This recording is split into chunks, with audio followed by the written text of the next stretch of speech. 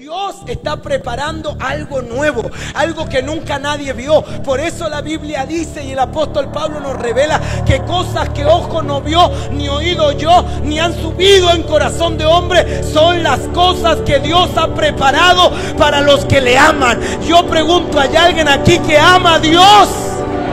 ¿Hay alguien aquí que ama a Jesús? Entonces prepárate para ver lo que no vio, ni oído yo, ni nunca ha subido en corazón de hombre, porque eso es lo que Dios tiene preparado para ti.